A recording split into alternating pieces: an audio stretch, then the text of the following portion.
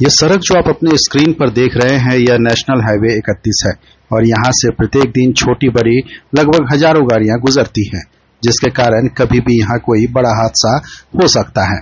बाढ़ से परेशान यहाँ मौजूद लोग बताते हैं, हम लोग दिन रात डर के साय में जीते हैं। लोगों का कहना है, घर डूब गया, फ़सल डूब गया, सब बर्बाद हो गया। बाढ़ के पानी में डूबे घर में रहना तो असंभव है। तो किसी तरह डर के साय में जीकर अपना जीवन यापन सड़क पर कर रहे हैं। डर लगे साधन कुछ नहीं छै कहाँ हेबे पन्नी एगो देलो हे एगो नहीं बाँस न करो की करबै?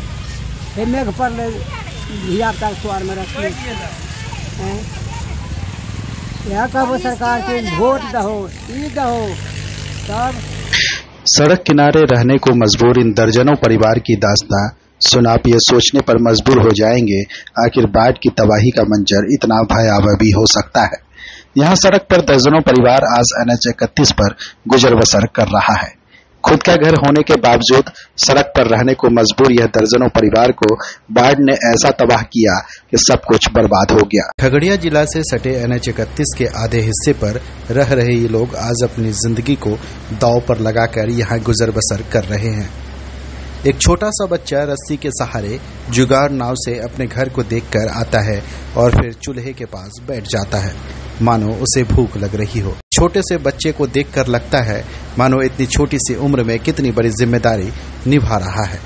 एक बार चूल्हे की तरफ़ देखता है और फिर लोकलेटिन के कैमरे की तरफ़। यहाँ रह रहे लोग बताते हैं, शुरुआती दौर में सिर्फ़ दो दिनों तक प्रशासन द्वारा जनरेटर का व्यवस्था किया गया और छह दिनों तक खाने का व्यवस्था था, जिसके बाद फिर से पानी बढ़ने लगा, लेकिन फिर भी हमारी सूद लेने कोई नहीं। पच्चीस दिनों से लगभग रह रहे हैं। पच्चीस दिनों से रहे हैं, दो दिन मात्र सरकार जनरेटर का मदद किए हैं वाट परसेंट उसके बाद पाँच छः दिन खाना खिलाए बाकी कुछ नहीं हुआ है। बरसौनी तऽ बहुत हो छै। वर्षा होइ छै ओहिमे माल बकरी सब खाक साधन नहि मिलै छै। कोइ चीजके बोल भी नहीं बो- बोल नहीं बाचे योर में मरे छे।